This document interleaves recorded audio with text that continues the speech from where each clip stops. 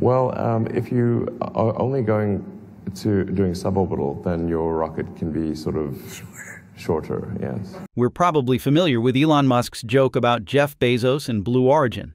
And this time, his objective is their New Shepard rocket. Imagine that your spaceflight lasts just 11 minutes, and your rocket never reaches orbit. So, how can you redefine the future of humanity? Today's TechMap episode isn't just about shade, it's about facts, flight paths, and the future of space. We're breaking down what really separates a space experience from a space mission. And by the end, you'll understand exactly why Musk sees New Shepard as little more than a cosmic carnival ride. At the 2021 Code Conference, during an on-stage interview with Kara Swisher, Swisher asked Musk directly what he thought about the rocket's phallic appearance. Musk, with his usual humor, replied, I mean, it could be a different shape, potentially. The audience laughed, but Swisher pushed further, asking if there was a technical reason for the rocket's form. Musk, never one to pass up a punchline, added, If you're only going suborbital, your rocket can be shorter. That comment, implying Blue Origin's limited reach compared to SpaceX's orbital missions, drew even more laughs from the crowd. When you're launching only suborbital flights, like Blue Origin's New Shepard, your rocket doesn't need to reach orbit, which requires much more speed and altitude. So technically, a suborbital rocket doesn't need to be as tall or powerful as an orbital one, like SpaceX's Falcon 9 or Starship. That's the logic behind saying it can be shorter. But here's the playful side. Musk was also making a not so subtle joke about the rocket's phallic shape, implying that Blue Origin made it look that way. And it's shorter because it's only going suborbital. It's a bit of classic Musk sarcasm wrapped in engineering talk. While clearly a light-hearted moment, the comment also reflected the ongoing rivalry between the two billionaires one leading a company that managed to send astronauts to the ISS, and the other still stuck to suborbital tourism by then. Four years later, Blue Origin eventually launched New Glenn into orbit for the first time, yet this achievement paled in comparison to the swift advancements of its competitors. The shape joke may be funny, but underneath it lies a deeper competition over who's really leading the new space race. This is made clearer when we put two representative vehicles, Blue Origin's New Shepard and SpaceX Crew Dragon, on the scale for comparison. Firstly, on flight duration and altitude. New Shepard's entire journey lasts around 11 minutes, with only roughly 4 minutes in zero G. It offers a brief taste of space and weightlessness on a suborbital hop. New Shepard launches vertically, accelerates for about 2 minutes, and then the capsule coasts upward on a ballistic arc just above the Kármán line, the edge of space, approximately 100 kilometers up. After reaching its peak altitude, gravity quickly pulls the capsule back to Earth.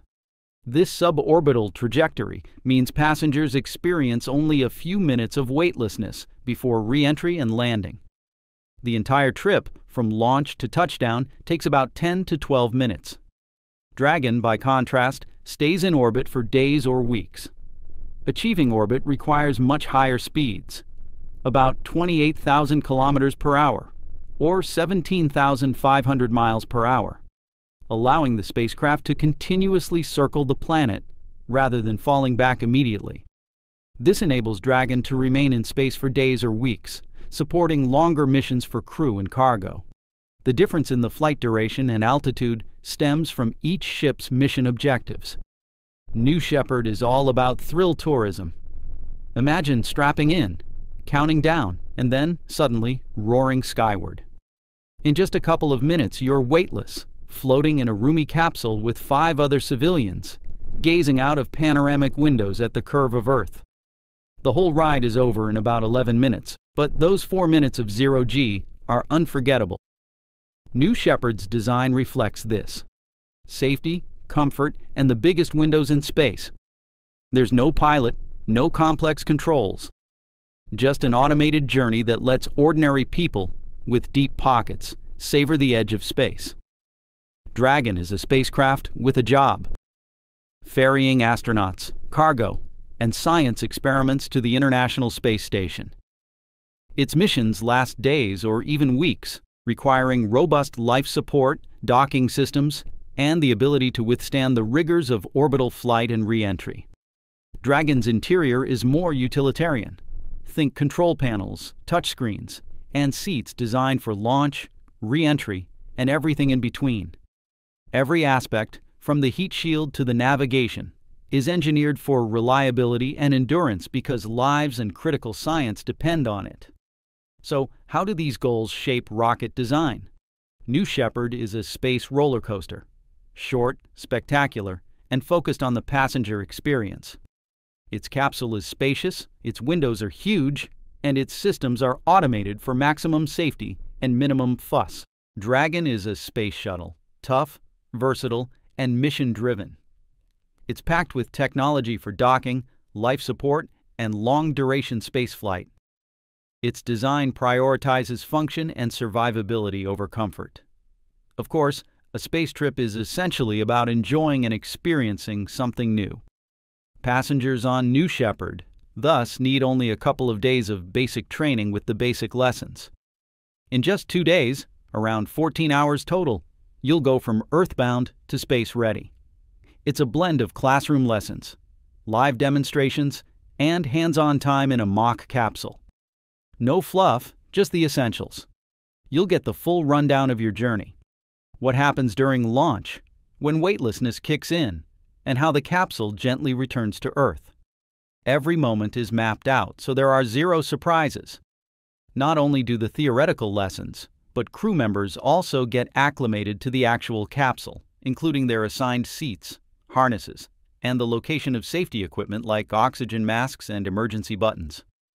You'll practice hopping in and out of the capsule, strapping in fast, like under 15 seconds fast, and dealing with emergency situations like fire or a quick exit.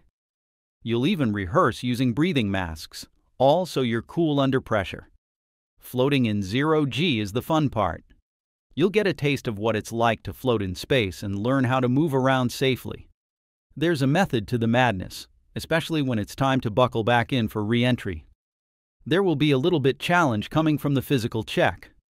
You'll need to climb a seven story launch tower in under 90 seconds and walk over bumpy ground, all while being able to handle forces of up to 5.5 Gs. Space is no joke. In the final rehearsal, you'll go through five simulated scenarios and wrap up with a final test. It's all about making sure you're 100% ready, whether everything goes perfectly or not. How about your luggage? Are you restricted on luggage weight? Well, you can bring up to three pounds of personal items.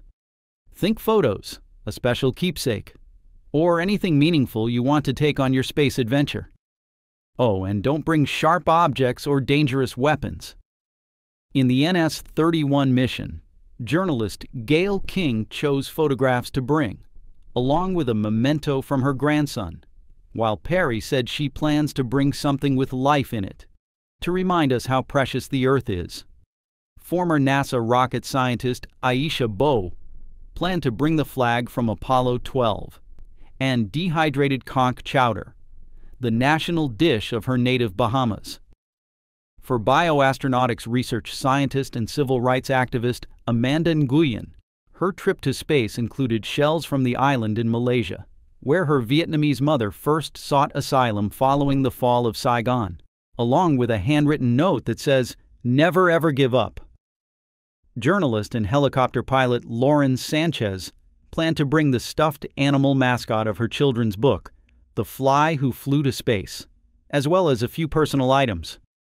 And the interesting thing about flying on New Shepard is that it flies itself.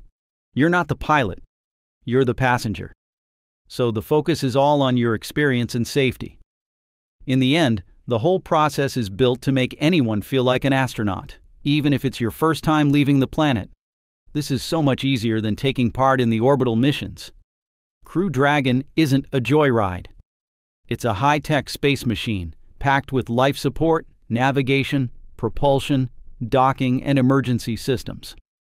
Astronauts spend months learning how to monitor and operate every part of it, including jumping in with manual controls if something goes wrong.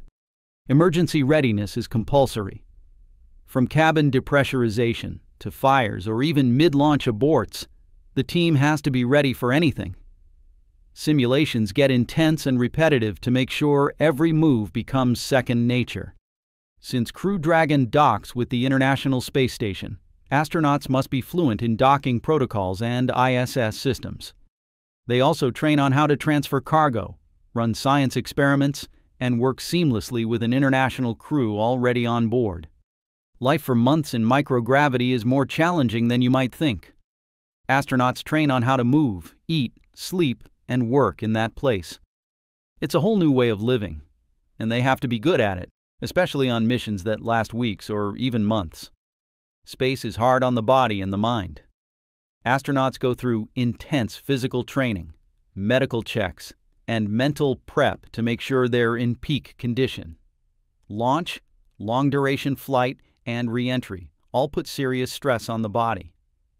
To better understand, you can watch the image of Butch Wilmore and Suni Williams as they were back to Earth after nine months stuck in space due to the Boeing Starliner's trouble. Notably, not every mission is the same. Some involve spacewalks, some science experiments. Others may require working on external hardware. So training is tailored to fit exactly what each mission demands. In conclusion, Crew Dragon training is no joke. It's long, hands on, and mentally demanding. Every astronaut has to be ready to fly, fix, and survive, no matter what space throws at them.